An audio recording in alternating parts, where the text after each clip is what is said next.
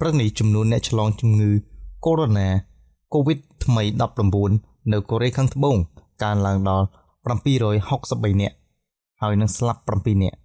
ក្រោយរកឃើញករណីឆ្លង161ករណីទៀតប្រទេសកូរ៉េខាងត្បូងនៅព្រឹកថ្ងៃច័ន្ទទី24ខែកុម្ភៈនេះ បានបញ្ជាក់ថា បានរកឃើញករណីឆ្លង COVID-19 ចំនួន161ករណីបន្ថែមទៀត ធ្វើឲ្យចំនួនអ្នកឆ្លងសរុបដល់763នាក់ទៀតគិតត្រឹមម៉ោង9ព្រឹកប្រទេសកូរ៉េខាងត្បូងនេះបើយោងតាមករណីវិជ្ជមណ្ឌលត្រួតពិនិត្យនិងបង្ការជំងឺនៃប្រទេសនេះ ក្នុងនោះទារកអាយុ16ខែគឺជាអ្នកជំងឺ ដែលក្មេងជាងគេបំផុតរបាយការណ៍ដដែលនេះក៏បានរាយការណ៍ពីករណីស្លាប់មួយបន្ថែមទៀត នាំឲ្យចំនួនអ្នកស្លាប់ដោយសារវីរុស COVID-19 របស់ប្រទេសនេះឡើងដល់7នាក់អញ្ញាធរសុខាភិបាល បាននិយាយថាបរិះអាយុ62ឆ្នាំម្នាក់ដែលមានទំនាក់ទំនងនឹងមន្ទីរពេទ្យដែលនៅភូមិនិរដីនៃតំបន់ឆុងដូបានស្លាប់ដោយសារវីរុស COVID-19 ថ្មីនាថ្ងៃអាទិត្យនេះករណីឆ្លងច្រើនបំផុត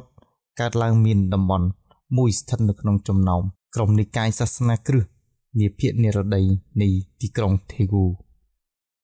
និងមួយទៀតស្ថិតនៅក្នុងមន្ទីរពេទ្យថេណាំនៅក្នុងតំបន់ឆុងដូដែលស្ថិតនៅជិតទីក្រុងថេហ្គូដែរក្នុងចំណោមករណីថ្មីទាំង161នាក់ក្នុងនោះ142ករណីត្រូវបានរកឃើញនៅទីក្រុងថេហ្គូដែលចម្ងាយ300គីឡូម៉ែត្រពីទីក្រុងស៊ីអ៊ូលនិងខេត្ត ខ្យងណាំ ដែលនៅជាប់គ្នាមជ្ឈមណ្ឌលគ្រប់គ្រងនិងការពារជំងឺកូរ៉េបាននិយាយថា នៅក្នុងសេចក្តីថ្លែងការណ៍មួយ អ្នកឆ្លង3អ្នកផ្សេងទៀតត្រូវបានរាយការណ៍នៅក្នុងទីក្រុងសេអ៊ូលកាលពីថ្ងៃអាទិត្យប្រទេសកូរ៉េខាងត្បូងបានបង្កើនកម្រិតប្រកាសអាសន្នចំពោះវីរុសនេះដល់កម្រិតខ្ពស់បំផុត គឺជាកម្រិតភ្លើងក្រហម កាលពីថ្ងៃអាទិត្យប្រទេសកូរ៉េខាងត្បូងបានបង្កើនកម្រិតប្រកាសអាសន្នចំពោះវីរុសនេះកម្រិតខ្ពស់បំផុត គឺកម្រិតភ្លើងក្រហម ដែលជាកម្រិតគម្រាមកំហែងខ្ពស់បំផុត ចាប់តាំងពីការផ្ទុះនៃជំងឺផ្ដាសាយជ្រូក H1N1 កាលពីឆ្នាំ2009ការប្រកាសកម្រិតប្រុងប្រយ័ត្នខ្ពស់បំផុតនេះនឹងអនុញ្ញាតឲ្យអាជ្ញាធរបញ្ជាបិទសាលារៀន ជាបណ្ដោះអាសន្ននិងកាត់បន្ថយជើងចន្ទោះ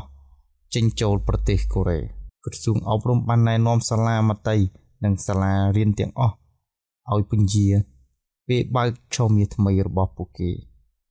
ត្រឹមមួយសប្តាហ៍ក្នុងគោលបំណងដើម្បីការពារកុំឲ្យវីរុសឆ្លងទៅកាន់តែទូលំទូលាយព្រះវិហារទូទាំងប្រទេសក៏ត្រូវបានបិទ